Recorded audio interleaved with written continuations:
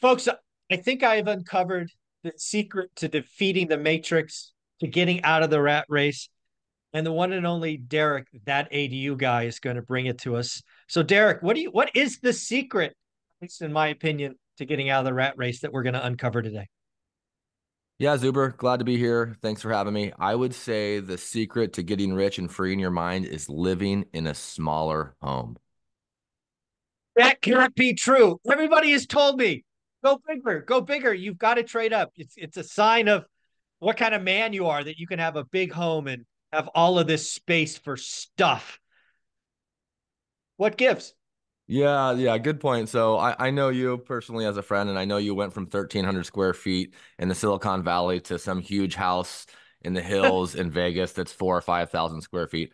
And um, not to poke fun at that, but I would beg um, to ask you is it easier to clean your old house or your new house? Do you have more free mind space in your no- old house or in your new house? The biggest takeaway that I've learned over the years of living in a small house is the fact that uh, there's a bunch of um, pre-facts like, hey, it's way cheaper, it's way easier to clean, it's more efficient, it's easier to heat, it's cheaper. But the biggest gain I've found is in my mind.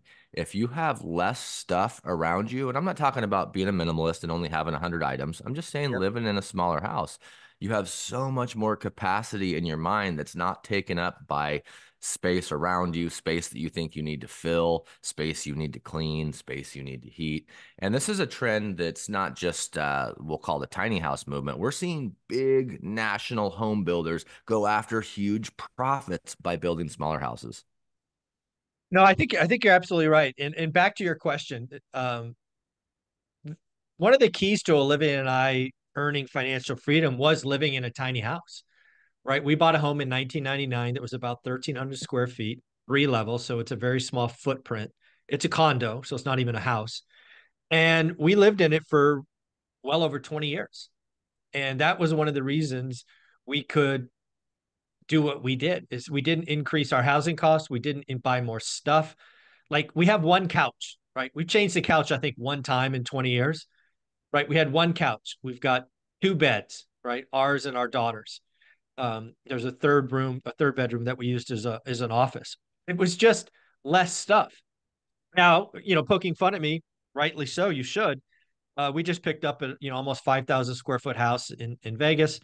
Uh, we have two couches that, if we put it in our old home, would take up every square inch of our living room. These these couches, the couches, are almost ten grand a piece, right? Just stuff right? We now have five bedrooms. And of course, one of the things about having a place in Vegas is we hope to have family and friends over. So guess what? Now we have five beds and mattresses and you know nightstands and just just the window cleaning in this freaking place is more expensive than the maid service. So it is wildly expensive. And I really do think the key to financial freedom is controlling your living expenses. And for lots of us, that is living in a tiny ho- house or a smaller footprint and not moving for decades. Once you get to the end, you are free to do whatever the hell you want. But I can promise you this, Derek, I would not be having this conversation with you today. You and I would probably not be friends if I traded up twice when I was employed. I would still be working. I would still be slaving away. Gosh, I'd still be flying on airplanes, which is the least favorite thing for me to do in my entire life, but it's the only way I could make money. So living in a tiny home is absolutely how Olivia and I got here. So well said. Yeah, you know, I think that there's still in our society the status symbol of the nice new cars and the big house. And so many of my friends you know, will will trade up. Like you said, you know, they're they're doing well financially. They've got good credit. They can qualify for a new mortgage. They sell their home and buy a bigger one. And you know what we do and what you teach is, is um, you know, you you keep the home as a rental and you go buy another one. Some of the, mm-hmm. the, the best contributors to your channel talk about house hacking, um, talk about living below your means, talking about trading sideways and not getting that lifestyle creep. And it's not just about buying another latte or getting a newer car. The biggest piece of lifestyle creep that I see is people buying bigger houses, usually selling the one yes. that they have that's perfectly fine as opposed to putting it into service as a rental, but buying buying mm-hmm. bigger houses. And this isn't just my opinion as an uh, an ADU developer and somebody that's been in the small housing space forever. Like I said earlier, it's like these big home builders are are going off right now. So we've got a little bit of a case study I'll bring up. We've got Lennar Homes in San Antonio, Texas. They're fairly close to Randolph Air, Air Force Base. Um, they've got this new development model that they're using, and they're building these one bedroom, two bath 661 square foot homes. They're narrow. Mm-hmm. They're kind of like a, a, row house. It's very similar to what you would think of as a townhouse in your mind, mm-hmm. but they're non-shared wall. Right. They started at about 150 and I think they're up to about 159. So we're talking $150,000 for a brand new house in a state that a lot of people want to live in in a maintained planned, you know, community development and they're flying off the shelf. I was looking at some of their data and everything that they have previewed is already sold. Like they can't mm. build these things fast enough. And it's not just because they're more affordable, which they are, which people on this channel need to hear buy more affordable housing, reduce or eliminate your number one housing expense, and think of how that will supercharge your investing career. But it just makes sense. I mean, two thirds of all US households, 62%, according to the last census data, are two people or less. Okay, 30% yeah. of all households in our country are one person. And I don't want to call it like the divorce movement or the single movement, but there's just a lot more people that are looking for a more practical way of living. We don't have these larger families, you know, population um, density within the US household um, is, is shrinking, not not because families are getting smaller, but because families are going their separate ways. So there's mm-hmm. a ton of data that supports this. And and you know, when there's onesie twosies here and there with the ADU movement, you don't hear about it as much. But when Lennar, you know, has a paid ad in the New York Times about this stuff, we start to hear it yeah. more mainstream. So watch watch what's going on. Yeah, I can't wait to hear from Lennar. Lennar reports earnings this there might be Wednesday, either Wednesday or Thursday. I think it's Wednesday. Uh, I want to see how they if they talk about San Antonio. They're also doing one in I think it's Paradise, Arizona. They're doing mm-hmm. 996 square feet. I think the key, one of the keys to the housing problem we're in is smaller homes. But when I step back and talk to the audience, again, if you can live in a smaller footprint, it unlocks the path to getting wealthy, right? What is step one to getting wealthy? I talk about creating discretionary income. If you can attack your largest expense X taxes, which is housing, as opposed to the latte, and if you could do that for a decade, all that money falls to the bottom line. I mean, look at our example. We lived in a smaller home for 20 years. We bought, you know, two couches in 20 years. This freaking new place we've got, we spent more on couches than we probably did all the furniture in the in the old house. Just think about the the all of that capital that could have rolled in and compounded over 20 years. That's how Olivia and I got to be here, is because we sacrificed um, live below our means, stayed tight. I mean, you, you can only put so much in a three story condo, right? It's, it just takes a lot to get stuff upstairs. So, mm-hmm. you know, now you got a big old, big old house. It's, you know, it's, it's easier to fill it up with junk. So it, it is yeah. such the key. I want to ask you a question. What's the smallest home you've lived in?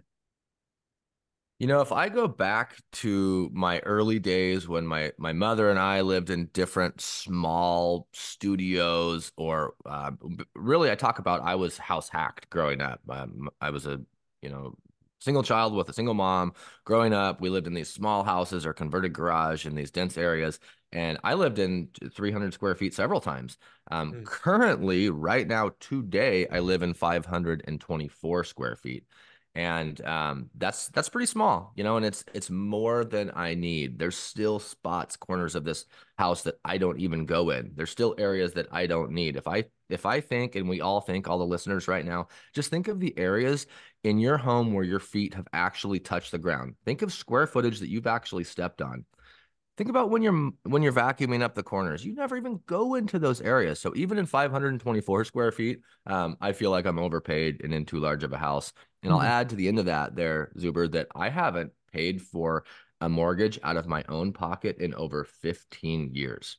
That's the key. So right people there. think, why does Derek live in this tiny house? Well, I, I, like to invest my money and I like to have a free mind. So the other side of the sacrifice of living smaller, if you think it's a sacrifice, is think of how much um, you could supercharge your investing career if you haven't had a housing payment in 15 years. Well, that's the key, right? I want to, I, you know, when you're in the journey, you know, I'll just say it this way. My friends made fun of me. I don't know if your friends made fun of you when you live in tiny homes, but my They still friends do. did. Yeah, my friends do or did. They don't. Do, it's funny how my friends don't make fun of me now, but that's a different story. Uh, but they did make fun of me, and they talked behind our back. And you know, they said things like, "Poor Olivia, she's got to do this, she's got to do that." You know, Zuber, you know, he's doing okay. They should do this, they should do that, and they just didn't see what we were doing, right? They didn't see, and it takes time, right? It takes a decade to do this, but if you're willing to do that, where I wanted to go to is not only do you have you not had a mortgage payment for 15 years i've seen your facebook page and i've seen how what you choose to do. How does derek spend his time right? You do a lot of trail runs. You you you go on these fun ski trips. You do all of these fun things. Why? Because you chose to live in a smaller footprint. You don't have a mortgage payment and you can enjoy life derek does what he wants when he wants with whom he wants is that a fair statement Yeah, that's um absolutely true. And I'd say most of that is um due to my housing choices and due to my delaying gratification. And I can really, really relate to what you said about people making fun of you and and people, you know, the haters are gonna hate. Um, Elon Musk has one of my favorite quotes ever. He was asked about the rockets exploding when he was trying to get into space, and the first three blew up. The fourth one, everybody thought was going to fail, and he made it. And somebody asked him how he felt, and he said, People will always laugh at you before they applaud. And now, when we're in the positions we're in, where we're comfortable and we do what we want, and people see us having a good time and living a simple life, they they cheer for us. You know, I I loved hearing your story. I think you were on um, Panetta's show when you were talking about leaving a party with Olivia and all your colleagues, your underlings, yeah. people that were subordinate to you, making way more money than you, and you were just like distraught. Mm. And um, I bet now looking back, you were like, no, I was right where I was supposed to be. And you can have it, you know, now, or you can have it forever. So the this amazing the key lifestyle I get to to live is another reason why I think other people are wanting to buy these smaller, more affordable houses. Travel is more important. You know, people are driving less. People are all about commuting on bike or by foot, so you don't need the parking. People want to go travel abroad. It's a lot easier to do that when you don't have this huge house filled with pets and plants. The Mhm. the mindset of the consumer is also changing. So to to live a more free lifestyle, having a smaller house and less stuff just really helps. Yeah. I mean, one of the things that I will applaud the fire movement for, which is very few things because they they've attacked me all the time, is they really have got people to think about the number. Like, what is your nut? What is your financial nut? And if you really can remove housing from that or make it, you know, a zero line item, you're much like you're much closer to the end, right? If you only need 3,500 bucks to live, let's say you need four grand, but of that 1,500 is housing. Well, guess what? live in a tiny house, live in an ADU in the backyard, whatever it is. Take that line item to zero. Now you need 2,500. It's easier to build buy assets that cash flow that produce 2,500 than four grand. It's simple math. And that means you're just, you don't have to do it forever, but a little while and, and you can do what you want later. Yeah, so so well said, Zuber. Love that. Yeah. So let's talk about living in a house of 524 uh, square feet. Let's just paint a vision, right? You open the front door. What are we looking at? Yeah, so I live in this simple design. It's a rectangular box with a loft. If anybody on here um, wants to see the exact house I live in, if you go to my Instagram, that ADU guy, you can see pinned on my first reel is my house. It says this is the 524 square foot house and how I live. But you walk into this large, great room. It's got 16 foot tall vaulted ceilings. There's a small bathroom and a small office downstairs. And then there's a sleeping loft above the bedroom and bathroom that's an additional 200 square feet. That um, is where I put my bed. And I I've have got a your Instagram up. Look at that. yeah, that is it right there. That's my house. Um, simple covered front porch. I've got some ski storage, some attic Yep. storage above that.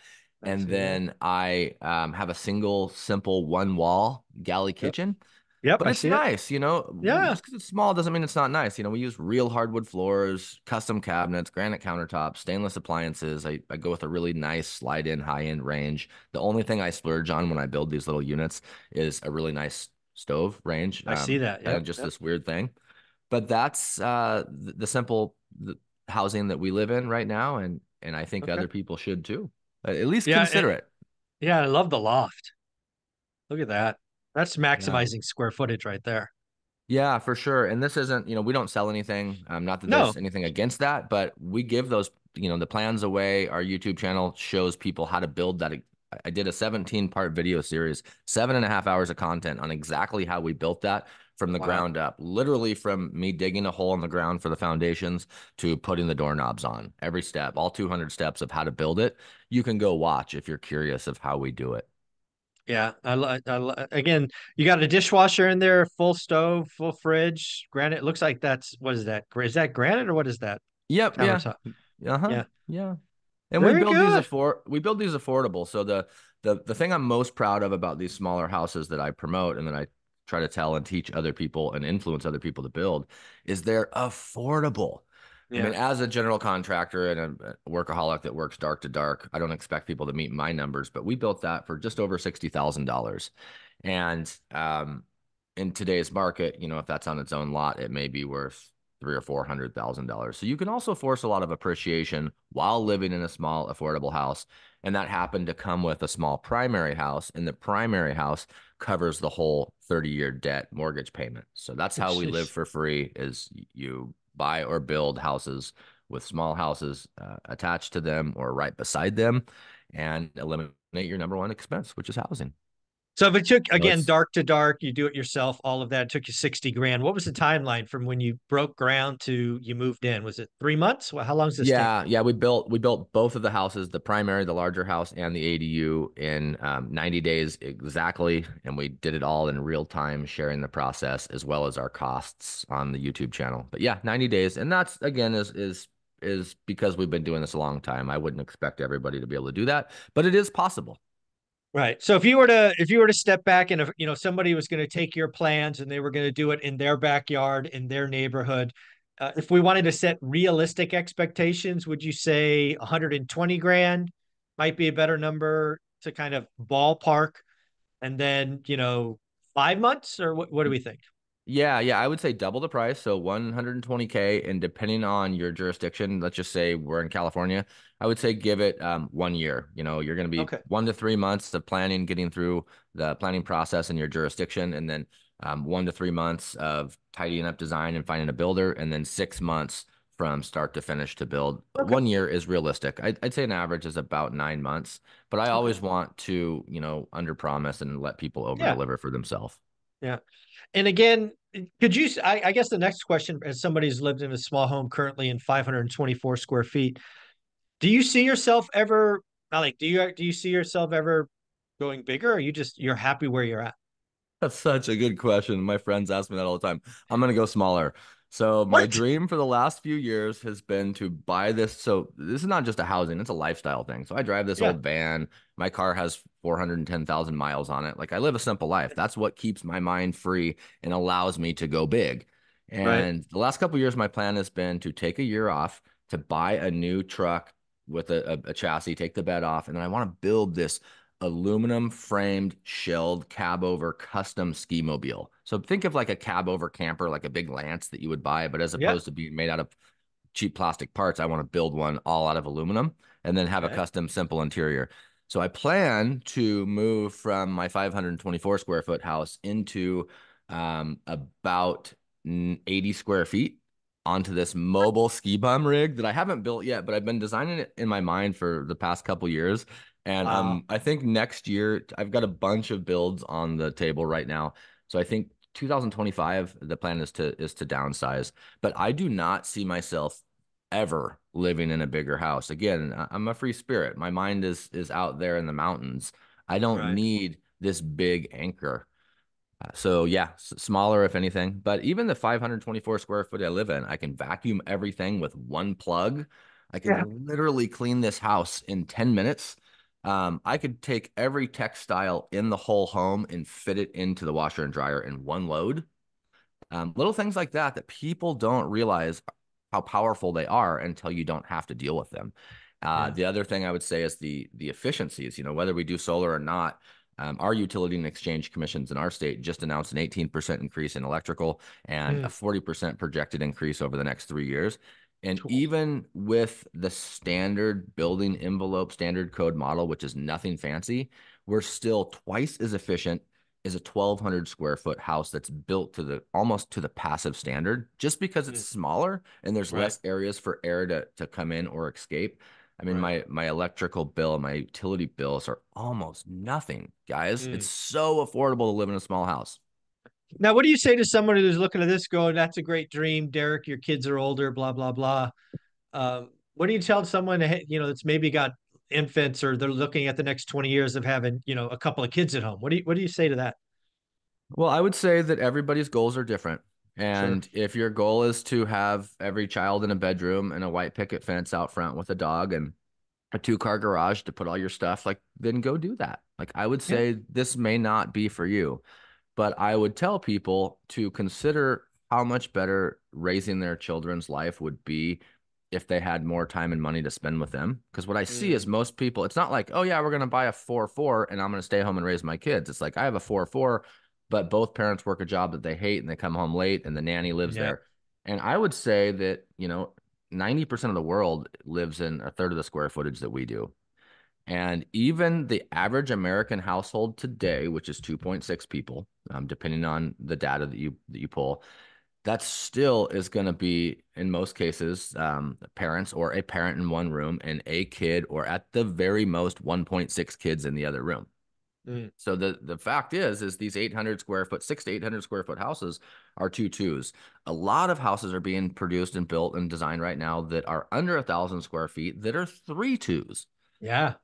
So just because the so the average house size right now is um, uh, just over 2,000 square feet. We've had the largest drop ever, 3%. percent We went Yep. from almost 2,100 down to two. And that's still over double what we practically need to house four people, let alone the national average. Um, I did a lot of data searching, you know, it's, it's kind of cool. This is a quick side note. While doing some research for this topic, um, some of the best data I found was from Lance. And it's pretty neat when you're when you're going deep into a network where you're an expert in and you see other experts that you know in different uh, areas of the country that are in the same network. So that's one thing I love Yeah. about you, Zuber, is you bring not that we're we're smart or we're special, but you you bring a lot of people that care together. Yeah. Yeah. Shout out Lance Lambert, Resi Club, uh, the best data out there. Very inquisitive, great relationships. I'm so happy to talk to him every Thursday uh, and, and read his articles, uh, you know, five days a week. So great guy. Yeah. And it's, you're absolutely right. One of the things I love about this community is if you, if you manage the people that you let in and you let in repeatedly, it really does, the momentum grows. So uh, it's, it's fun to watch. Um, I don't think we've spoken. Have we spoken since the the Fresno event? Uh, where you were a feature speaker? Yeah, yeah, we did. We talked. Um, we had So- one morning talk about Okay. um giving away uh, wealth. Oh, that's right. I remember that. Yeah, I forget. So can can the belt that you uh that you won actually fit in this small house, or does that does that have to be outside? Yeah, actually, funny enough, it will fit. Um, yes, it, and it is in my house. It will fit. nice. I nice. actually thought about hanging it up on the wall here in my Yeah. studio, and I was like, how cool would that be to just have a straight up like Hulk Hogan. Zuber belt in the background? That's still the best, not just the best stage gift. That's like the best gift I've ever gotten. Like that thing is burly. People look at it and they think, oh, that must be light. I just I remember when you gave it to me, everybody um uh, you know wanted to see it, and I said, you don't want to see it. Feel how heavy it is. So I got to know, Zuber. Tell everybody right now. You bought, gosh, you must have bought twenty five of those. Yeah. How much were the belts? uh combined over five grand. Wow, wow, that was such a cool gift, man. You're awesome. Yeah, no, yeah, and again, the belts are very personal, right? Everybody's name on them, uh, your picture. My intention was for you to put them on behind you on walls to be displayed. That was that was my vision. Is Oh, is it so uh, cool. Yeah. So so for something like Beth has it on her shelf already. Um, Adrian put it on his shelf. So yeah, it's it's starting to happen. So it's it's fun. Yeah. That's it- awesome. yeah, great event. For those of you that didn't go, you know, Zuber does an event now annually in Yeah. Vegas, the one rental at a time event, and he gave away these like huge full size professional leather plaqued WWF Metal. style belts for the speakers, and it was everybody was pretty taken back. You should have seen yeah. security at the airport when I wore my belt home. it's funny. Some people uh, tried to get it through um, baggage claim, and they got little le- little notes saying we had to open your bag. See what that metal thing was. Oh, that's awesome. Yeah. Back to the topic at hand. Sorry for that right turn. Um, again, I think living in small, uh, smaller homes have to be an answer to our housing uh, crisis. Um, I want to be very clear about something. I think we're going smaller. I actually told Lance, I think last week or the week before, that I hope this year we see a 5% drop in average square footage. And just so people realize, the crash bros are going to yell, scream, new home prices are crashing. Folks, they're not crashing. And I would argue you're a contractor, cost per square foot's probably going up. It is. Is that all fair?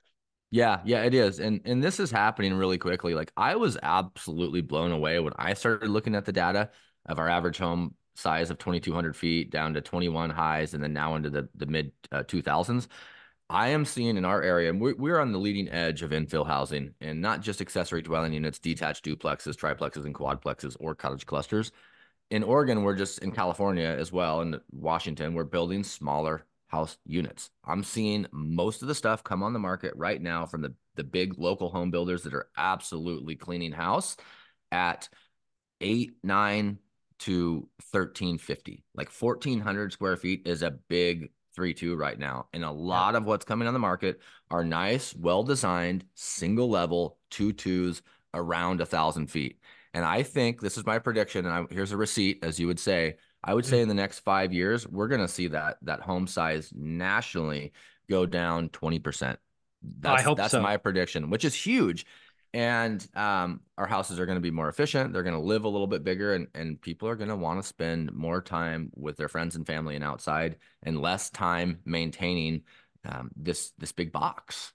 Yeah, so that's, and, that's and having to work. And you know, like to your point, I think one of the big things is if we do if we do this right, we could actually go back to a single uh, earner, and you know, mom or dad can stay home with the kids as opposed to great, you got the 4,000 or 5,000 square foot house. Now mom and dad have to work. Oh, by the way, mom and dad have to work a lot in high stress. And now the nanny's raising the kids or grandma or whatever, Nana. And um, I think if we do this right and we go smaller, it could get to a point where we only need one income. And, you know, maybe. Mm. Maybe life's better. Maybe our kids aren't so jacked up and messed up. I, you know, I don't. It's, it's it's maybe it's wishful thinking, but it's certainly something I'm thinking about. Wow, that's powerful. I, have never thought about it that way, but you bring up a good point. Yes, if you can really drastically reduce or eliminate your housing cost, you need less income to live the life you want to live. That's for sure. One other thing I, mean, I would about, add. Think about that San Antonio house, right? 661 square feet, 150 grand. You could you could live on that on on one income. Oh yeah, especially especially you know another another good reason these are going to be good options, as you know, and as you speak about often, is these uh, builders can have these incentives where they adjust their margin and they buy down the rate. So you're also you're getting a cheaper house. You're getting a brand new unit that's going to be way more efficient. It's going to have way lower property taxes. It's going to have way less insurance burden. And oh, by the way, you're going to get a point to point and a half rate better than everybody else because these builders have the firepower to help you get there. Yeah. And I'm not. And again, I'm not promoting yeah. any big home builders. You know, I'm I'm more of a a boutique. Go find somebody local to help you build a small yeah. house but it doesn't matter. Like I'm always going to cheer for people that have a good plan and want them to win. And right now, it's I really think it's the national home builders that they're keeping it kind of quiet. Like I, I oh yeah, they mainstream, yeah. but they don't want everybody to know their their secret weapon, which is build smaller and make more money. Sorry. Yeah, yeah. This is what the this is what the crash bros don't get. They're like, hey, they're the prices are falling. They're going bankrupt. They're going into business. No, folks, they're building smaller homes. They're producing more units per I don't know, acre or whatever the hell the calculation is, they're making more money. Yeah. And one thing that, uh, another thing that I'll add to this is this model that the big home builders are using has to do with getting these more rural tracts of land as we do this urban sprawl and they're getting farther and far away from farther and farther away from these urban centers and that's because the nicest land is always built out first and that's why we're growing with the infill housing movement and especially accessory dwelling units we're able to build these small houses on areas that are close in that are in these nice already established single family neighborhoods where these builders are going into not wastelands, but they're going at farther out into less desirable areas. Um, just a quick little bit of data here. Since ADU movement really took hold with state law in California in 2017 through 2023, there were more than 80,000 accessory dwelling units built. So when we hear really? about these little developments wow. that Lennar or um, you know, maybe Hayden Homes or maybe Horton is is planning or building of a, 100 or 950 or there's going to be 1500 here. Look at what's going on in California just by filling yeah. in the land we already have that nobody even knows about. I mean, over 80,000 units. That's incredible. That's crazy. I would not have guessed that. If you would have told me how many units to guess, I'd have been sub 20. So shout out to shout out to California to get something right. That's good and it's it's just gaining more and more traction every day. So if you're listening and you're like, "Oh my gosh, I don't like my job. I don't like working so hard. I don't like cleaning my house or paying the cleaners every 2 weeks to come clean all these areas and rooms I don't even use," consider a smaller house, folks. Yeah, again, if you just uh, I'm just playing with this, right? When you think about where we are today or and and you know what would make things better, getting your housing cost cut in half or dare I say zero by living in an ADU in the back that could cure a lot of things. And and really, I'm really stuck on this. You know what? You could you can have one parent stay home. I was lucky enough to be raised by, uh, you know, my mom stayed home until I was in high school. Right, knowing that she was there, she picked us up from school, she dropped us off from school. Um, I got to tell you, I would have been a different person if she had to work. Right there, there was social influences that I could have gone the wrong way if I was a latchkey kid very easily, especially in junior high. Um, so I'm, you know, shout out mom for for and dad, I guess in that case for for uh, making that a possibility. And I think smaller homes bring that back. It really does feel like it, it could happen. Yeah, great point. Yeah. So again, living in a 512 24 square foot home he is going smaller to 80 square feet. I don't generally recommend that small folks. You know 524 is is, is a good size. Um gives you optionality gives you the ability like paint do me a favor paint an average week for me. How many times are you out running or skiing or just what does this freedom give you? What what is derek doing during a week? Great question. So i I work all the time, but I'm always working on the fly. So an average day, I'll get up, I'll drink about three cups of green tea, mate, gives me special powers. I'll check emails. I answer a lot of emails on the YouTube channel or on my website about ADU related stuff. And then um, I'll do a run every day. I try to run 10 miles a day, 70 miles a week. So there's wow. a, a couple of different routes. When it's uh, snowy, I'll run in town. When it's not snowy, I run on the Pacific Crest Trail just up off of Mount Ashland behind me.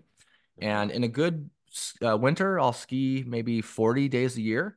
This year has been a pretty light year just because I'm so busy with projects. And then um, juggling different developments. We always have like one build of one or two units going. We have one build of one or two units in uh, permitting. And then we usually have one plan of one or two units in zoning. So there's mm-hmm. kind of like this slow conveyor belt, slow and steady but I'm able to, you know, kind of do it at my own pace. Every day I'm delegating a little bit more. I'm really bad at the delegate delete piece. I'm mm-hmm. working on that.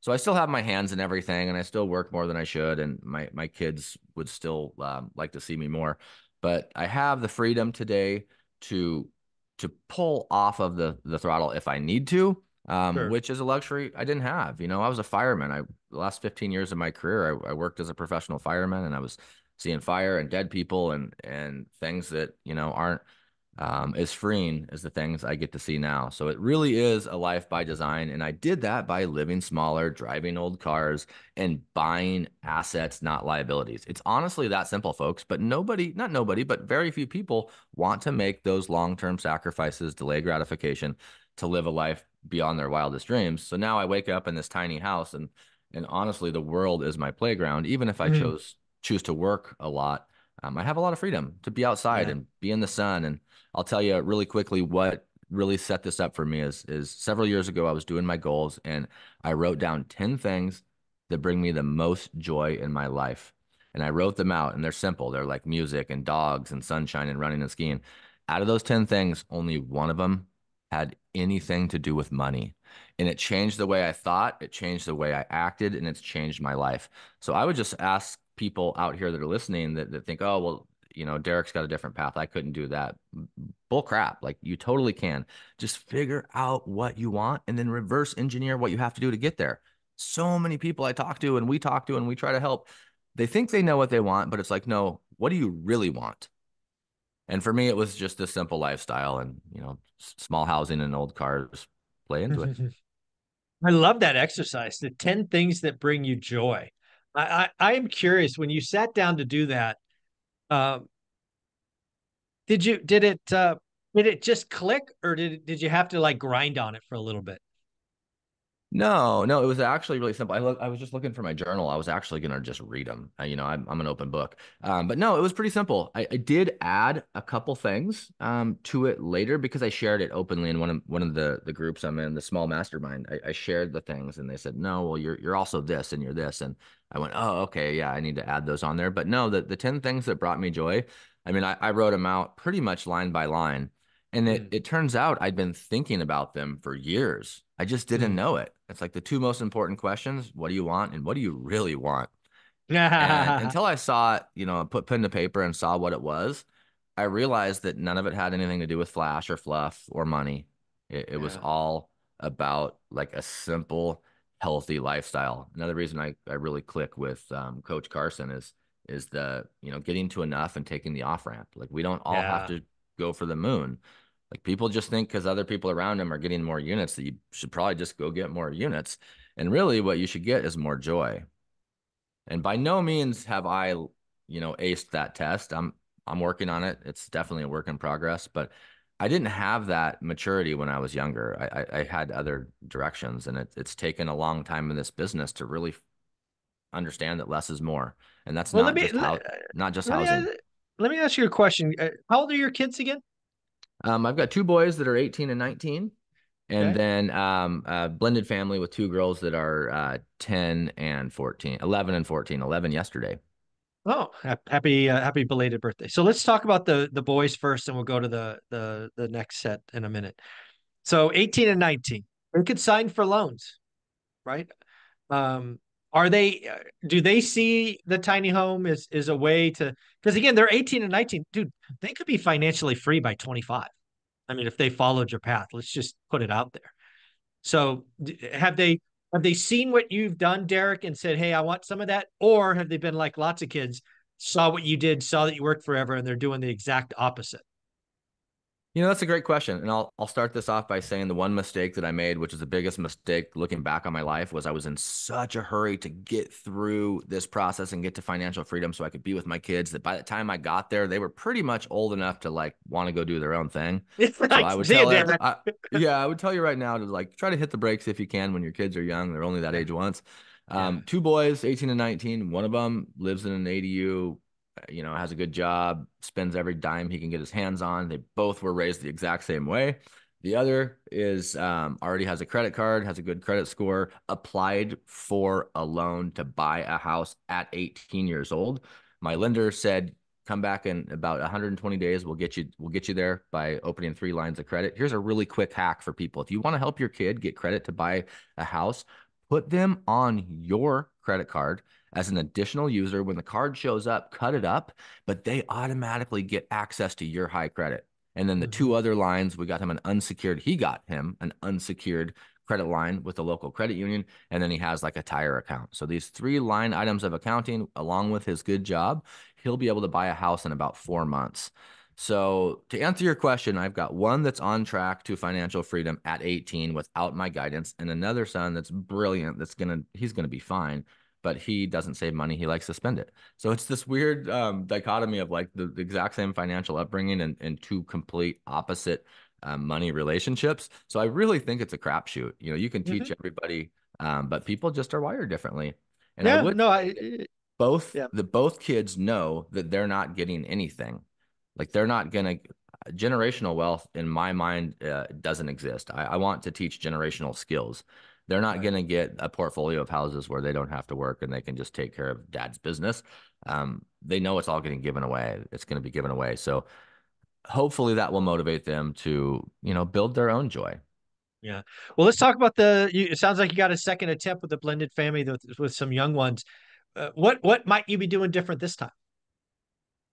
Just trying to kill old habits. I mean, I'll just be honest about this. We had a, a birthday breakfast for our 11 year old yesterday, and I'm like answering emails and working, and mm. and it's like it's Derek, still a leave, struggle. Leave leave that thing in the car, man. I know it's still a struggle, and I want to I want to be honest about that. It's still yeah, a struggle for me, but I know I can identify it, and I'm working on trying to be more present and work less because I do get a second chance at this. Um, but it, it's hard when your passion is your art and yeah. it, it's always with you. I think you know one of the best things I'm going to have to do is just you know turn off the stuff. If I have the stuff in front of me, I can't put it down. So um, yeah, you know, what, what I off, what, turning off just, the hotline.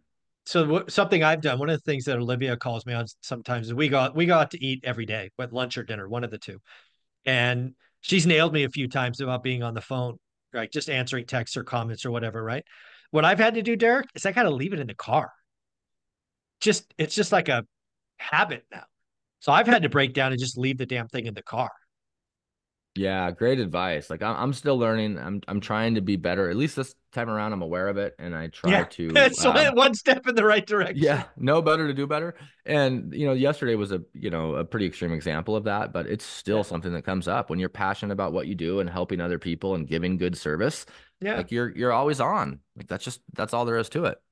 Yeah, I definitely feel the same way. Derek, you're amazing, man. Thank you for coming here. Thank you for this topic. Uh, I look forward to talking to you again. Where can people find you? You can find me at that ADU guy. I'm most active on YouTube and on Instagram, and I reach out to everybody that that's uh, has a question. I try to get back to you. It's me. There's no VAs. There's no bots. Yeah, me if too. You send me a comment. It's me, and I'll give you more than I'll give you more than two words like Zuber does because I have way less followers. Hey, at least I try to reply to everybody. You reply to everything. I was watching the Zoom tube last night at like 11, and you res- res- you always respond within an hour to every comment. It may be short, but I know you see it, so that's cool. Yeah, yeah, that's the key. I, the reason I respond is because I want people to know I saw it. That's that's what's important to me, uh, is reading those. Um, if somebody wanted to watch the six hours uh, of you building this 524 square feet, is there a specific playlist for that? On your yeah. channel? Yep. How to build an ADU with cost breakdown. Folks, go check it out. It is amazing. Thanks, buddy. Thank you.